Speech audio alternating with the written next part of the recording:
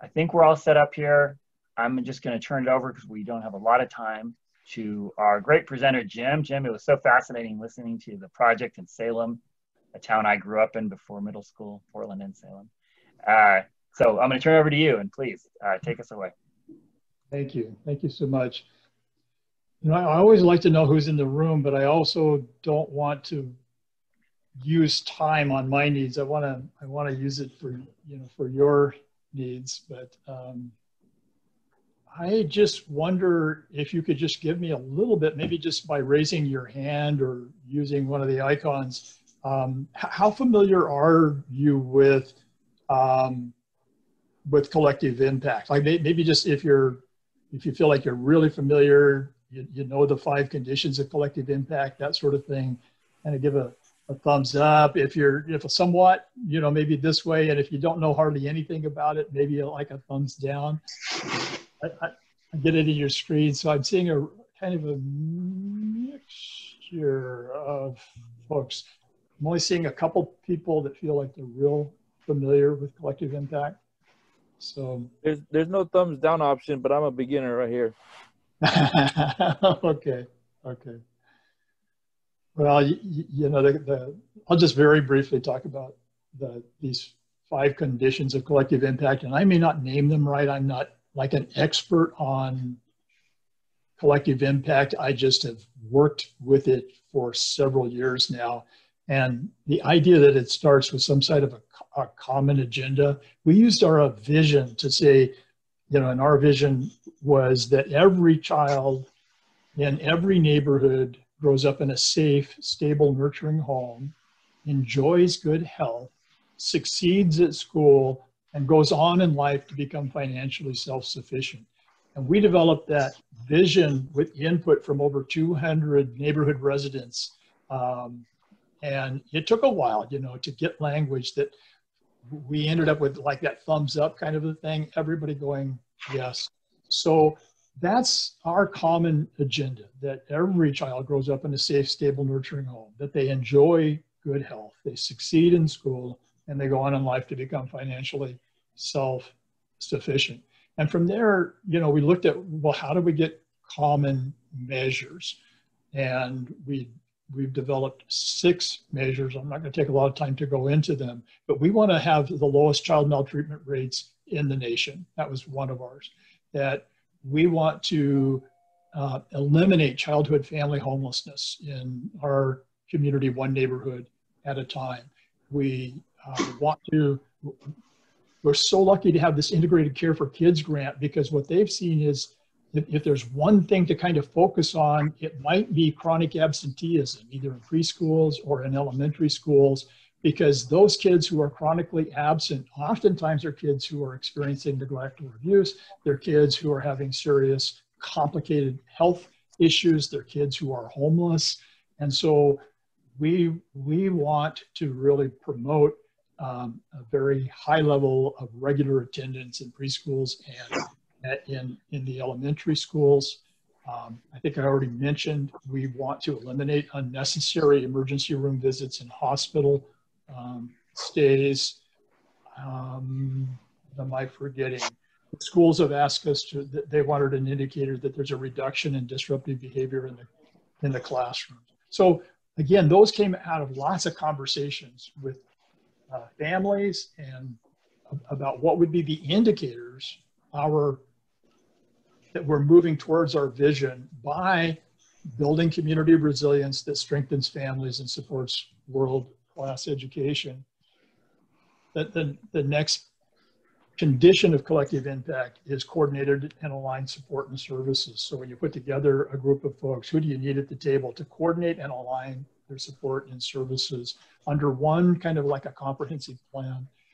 It takes constant communication. This is probably some of the hardest uh, part of it is the is the communication and then what they call a collective impact backbone organization and you know um, i was the executive director at catholic community services before i i went to work for the community business and education leaders and one of the reasons was we were good at raising funds you know um, when i started there we were raising uh, about $750,000 a year. And when I left, it was up to 20 million.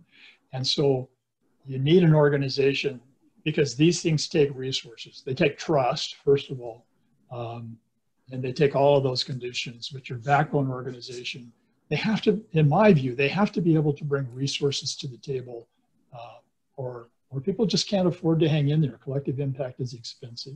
So I'm going to stop there, and just with that very quick overview of uh, collective impact, and just see if if someone either has a question or um, if there's some example in that, that, that you would be willing to share with us about a struggle with collective impact or success of collective impact, I, I really do believe that it, your willingness to share here with others in this time will be helpful, you know, for for everyone. So is there someone that has a question or an example that they would like to share?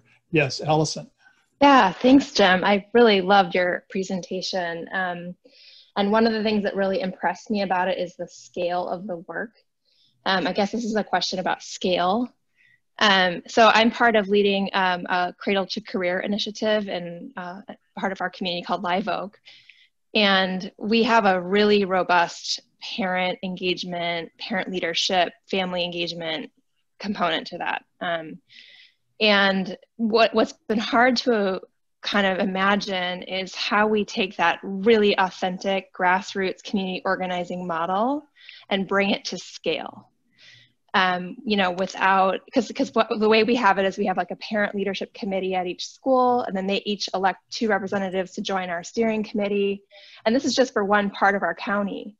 And and so, what does it look like for us to sort of begin imagine growing that within the district involving other districts. And, and I see that you kind of have that really great framework for how you're maintaining your roots, you know, and really being responsive to the community's voice and including them. Um, so I guess I just wanted to hear a little bit more about your journey and coming, bringing it to the work to scale. You know, one of the things that I didn't mention when we first started this work we had 1,300 kids in foster care in Marion County, and we we brought that number down to 580, almost a 50% reduction.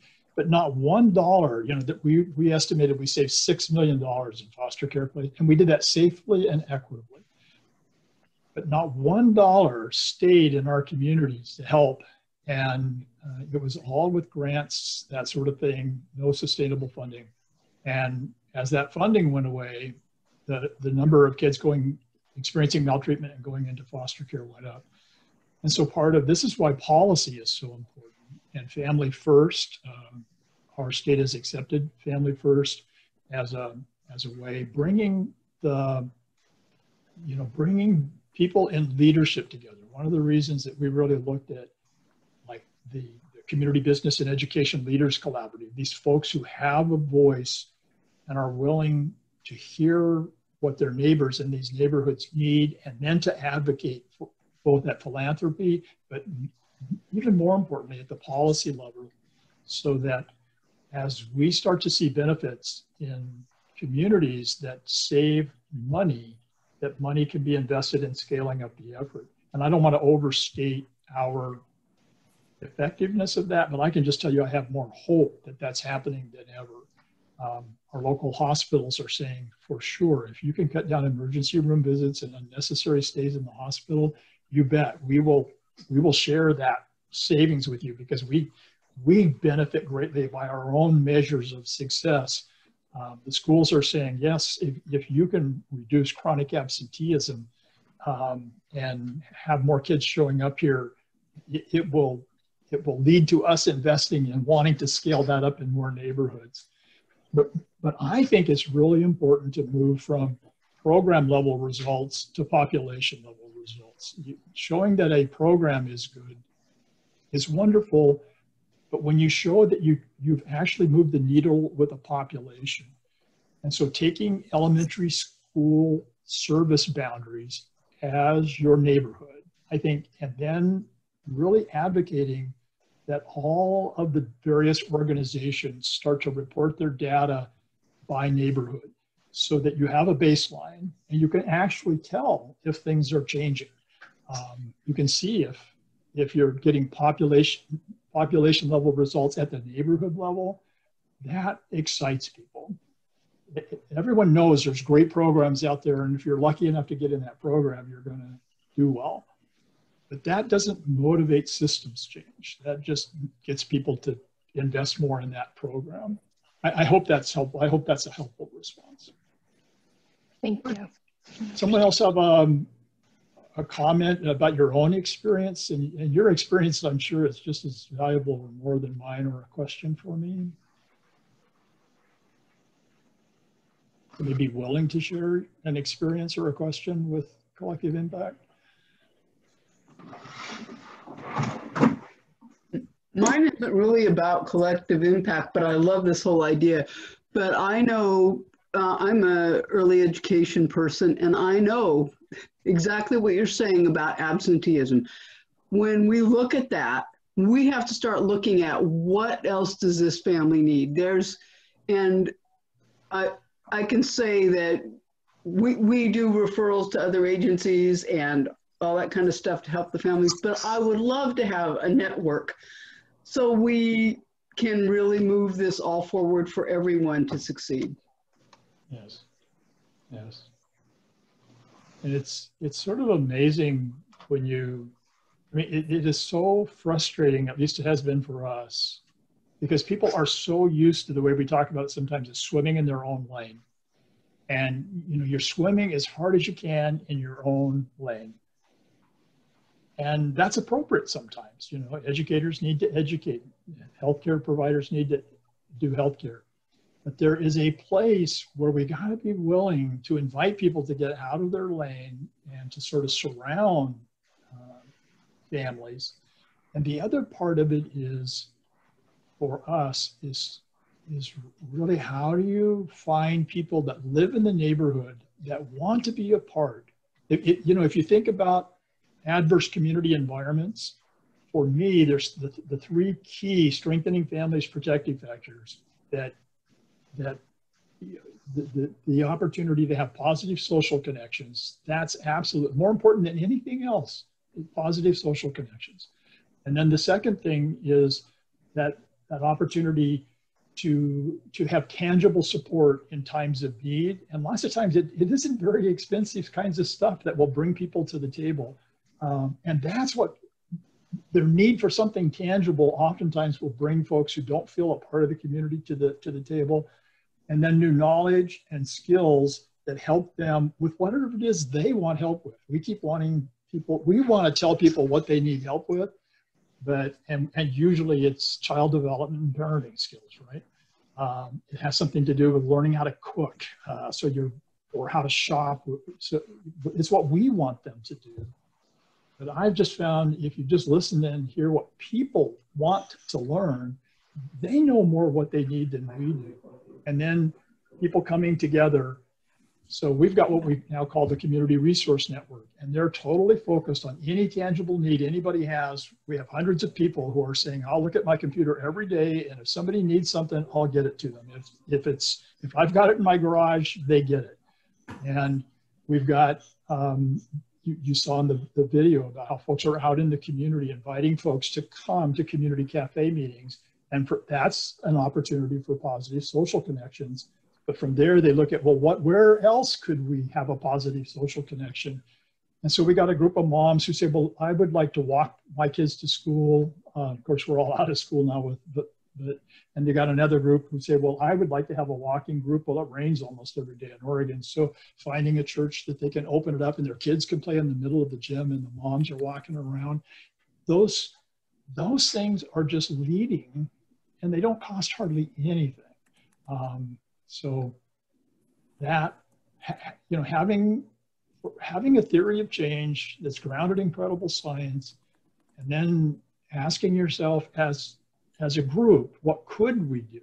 And not be focused so much on, or not be focused completely on all of the barriers about what we can't do. Sometimes very small things really start to make a difference. Uh, nothing succeeds like success.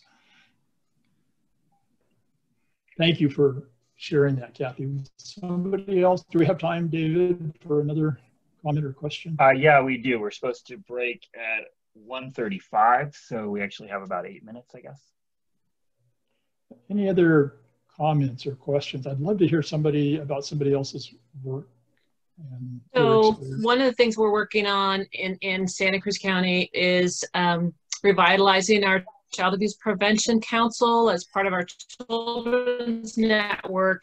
And um, we have a broad array of professionals um, represented there um, who already acknowledge that they have um, sort of this shared vision or could have a shared impact, a collective impact.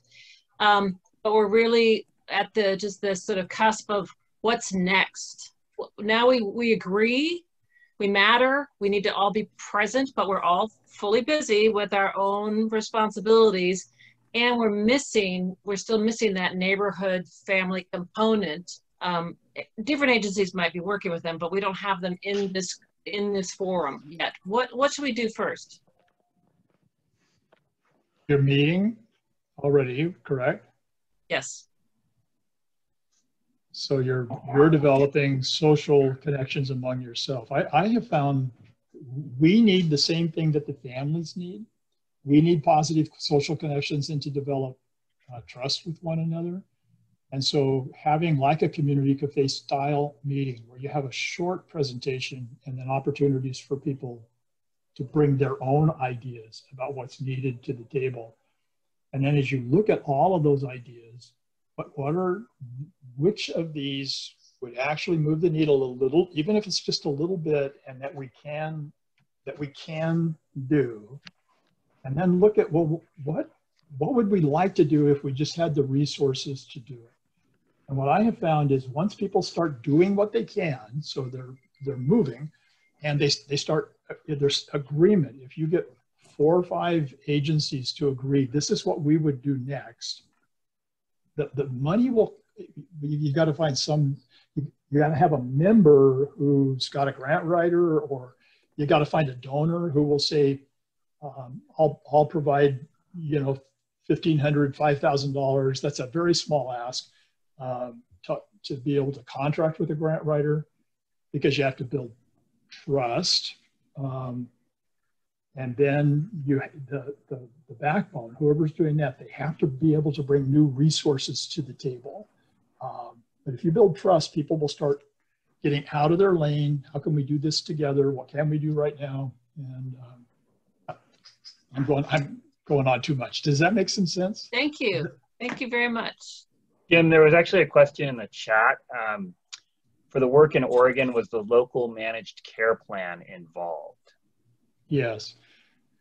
We call that the, the CCO, uh, the Coordinated Care Organization. It, it's a group in our community called PacificSource. They have been one of the first ones that were willing to move to give us data by neighborhood. And that was the first thing we asked for. Everybody collects data by zip code or by the county. And if you're going to have neighborhood community cafe meetings, people need to see the data in their neighborhood. Um, so th- they were very willing to do that. They had that um, ca- capability. And then once they, you know, our theory of change that safe, stable, nurturing relationships are the key malleable social determinant, that toxic stress is the big thing that gets in the way. And toxic stress has, it's a, it's like a stress cocktail. It starts with vulnerability anxiety from the parents' own adverse childhood experiences and trauma that's never been dealt with. Um, and it, it includes competence anxiety because vulnerability anxiety oftentimes leads to not succeeding in school. And so you don't have competence to, to deal with the challenges of life. And then those two things add up to having poverty. So if, if you've got vulnerability anxiety, you've got competency anxiety, and you've got financial anxiety, you're, you're set up for toxic stress. So those are the pieces that have to be addressed. And then looking at a model where we are promoting these three key strengthening family protectors, family, strengthening family protective factors in the homes and neighborhoods and you know, there's five actually, but the three that, in my experience, that you have to focus on are positive social connections, tangible support in times of need, and new knowledge and skills. And you've got to you've got to put that into a trauma-informed Because if you just do what everybody's been doing, people won't feel safe there, and so they won't come. The only thing they'll come for is the tangible support. But if you if you make the education safe and you uh, make the relationships safe, people want that. They're hungry for it, and they will stay, and then there will be growth. Well, that theory of change works. I mean, I showed you that graph. It works. And when we present that with a, a theory of change grounded in credible science, our CCO is now providing 200, and, I think it's $250,000 a year in support to the Fostering Hope Initiative. And they've committed to helping us scale that up.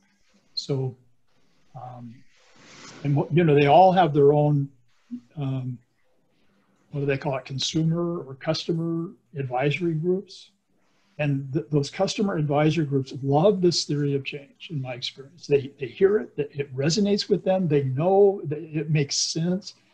And so, so being able to speak with your um, customer advisory groups or your, in, inside of your health organizations, in our experience, this, you know, we're talking their language. We're not talking about, in, in my experience, families do not want to be they don't even want you to talk about prevention because what are you preventing? You're preventing, you're trying to prevent them from hurting their kids. And they just, it just makes them sick to their stomach that that's okay. I've got to admit that I'm a danger to my kids. But when you come in and you talk about, you know, we want to build community resilience that strengthens families and supports world class education in your neighborhood, and we need your help. You need my help? You know we're not we're not trying to prevent anything. We will prevent all of those bad things but that's not what we're talking about.